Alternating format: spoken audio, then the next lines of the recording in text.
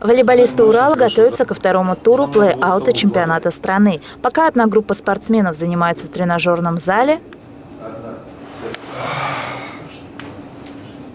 другие волейболисты играют в привычную игру или занимаются отдельно. Первый тур плей-аута прошел в Нижневартовске. В турнире выступили шесть команд, в том числе и Уфимский «Урал», борющийся за выживание в Суперлиге. По итогам прошедших игр уфимцы расположились на четвертом месте. Травмы весь сезон преследовали команду, и мы в полном составе практически ни одного тура не играли. У нас и травмы, болезни, и мы половину чемпионата, в принципе, играли вторым составом. Как бы, и ребят привлекали вот из молодежки, даже, даже им приходилось какие-то игры играть. Сказывалось, конечно, и на тренировочном процессе отсутствие ведущих игроков.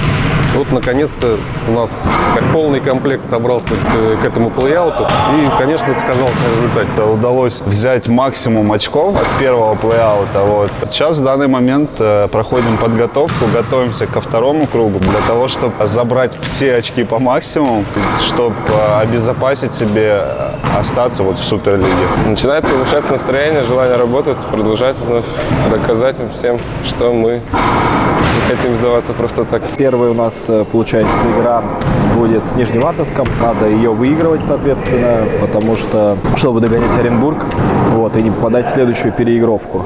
Вот, это достаточно важная такая задача. Номер один, наверное, сейчас в данный момент стоит. Потом Прикамьем с Пермью. Опять же, тоже важнейшая игра, потому что у нас с ними одинаковое количество очков. Тоже надо выигрывать, чтобы, чтобы они вперед не уходили. Вот. И следующая игра достаточно тоже важная, потому что они на три очка нас опережают, надо их догонять. Потом играем с Грозным и с Краснодаром. Я считаю, плей это вообще непредсказуемо. Там ну, может произойти все, что угодно. Со всеми команд надо выходить с максимальным настроем, потому что ну, от каждого соперника ждать, я думаю, каких-то неожиданностей. Где-то не донастроишься и можно проиграть. Задача избежать переигровки последней с высшей лигой А.